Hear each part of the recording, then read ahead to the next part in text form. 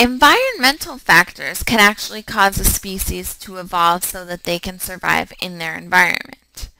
So an example would be an animal living in a hot, dry climate might evolve to retain more water, like a camel with its hump.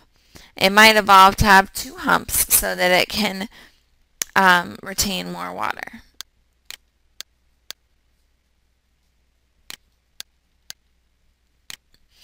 Or a bird that eats burrowing insects might evolve a beak shaped to help it get those insects. So some birds have beaks that are like this, right, that are really long so that they can get into the ground.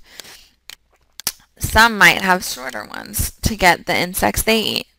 Or like a woodpecker has a really long beak so that it can get into the tree.